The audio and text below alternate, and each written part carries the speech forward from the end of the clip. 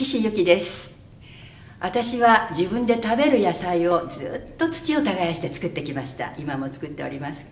でそんな中でとても勉強することがあるんですね。やはりあの人間は生かされてるんだなってその環境に対して自然に対して感謝の気持ちが生まれるしそれから優しい心人を思いやる心そういうものも育てられると思います。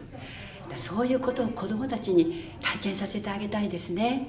全ての子どもたちがそういう体験ができるように B&G の活動に応援してください。